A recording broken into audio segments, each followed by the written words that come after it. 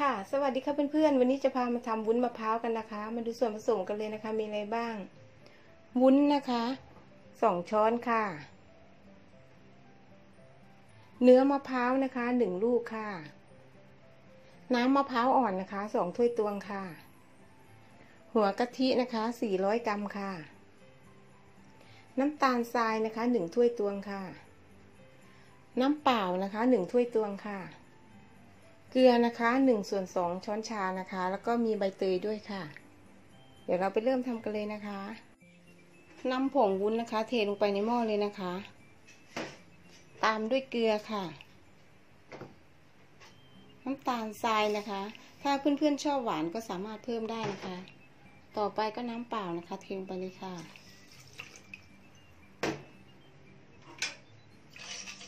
ใช้ตะก้อนะคะ ตีทุกอย่างให้เข้ากันเลยนะคะ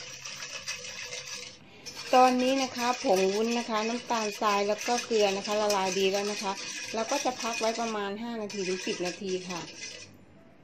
ค่ะ ตอนนี้ก็ครบเวลาแล้วนะคะ ต่อไปนะคะเราก็จะนำไปตั้งไฟเลยค่ะ ตอนนี้ก็ครบเวลาแล้วนะคะ แล้วก็นำหม้อนะคะ มาตั้งไฟนะคะ เปิดไฟกลางนะคะ กวนไปเรื่อยๆเลยค่ะ ต่อไปนะคะ ก็นำน้ำมะพร้าวนะคะเทไปเลยค่ะ วนอีกรอบนะคะ ค่ะตอนนี้นะคะทุกอย่างก็ละลายเข้ากันดีแล้วนะคะ เราก็จะใส่หัวกะทิลงไปเลยค่ะ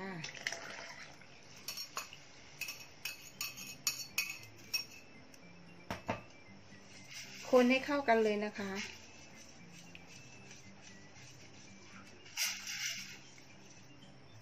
ค่ะ เสร็จแล้วเราก็จะปิดไฟนะคะ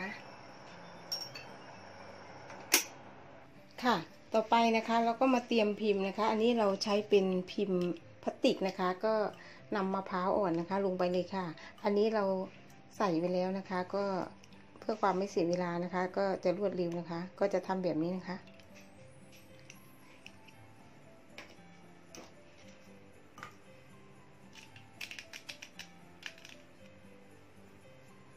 ค่ะ เราก็มาเทวุ้นนะคะ ลงไปในพิมพ์ที่เราใส่มะพร้าวอ่อนไว้นะคะ เทลงไปเลยค่ะ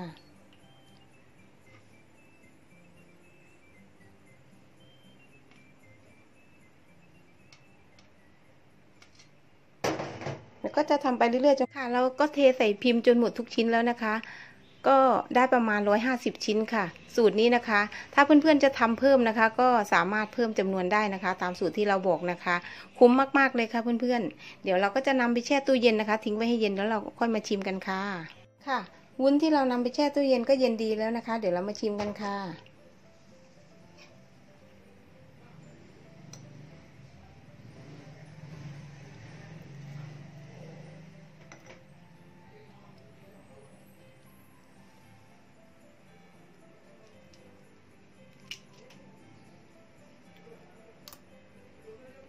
ค่ะ รสชาตินะคะ ลงตัวดีพอดีเลยนะคะเพื่อนๆอืมนะคะ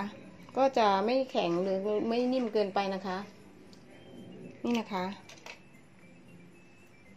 ยังไงเพื่อนๆก็ลองไปทำดูนะคะ คลิปนี้ขอตัวลาไปก่อนนะคะ เจอกันคลิปหน้านะคะ สวัสดีค่ะ บ๊ายบาย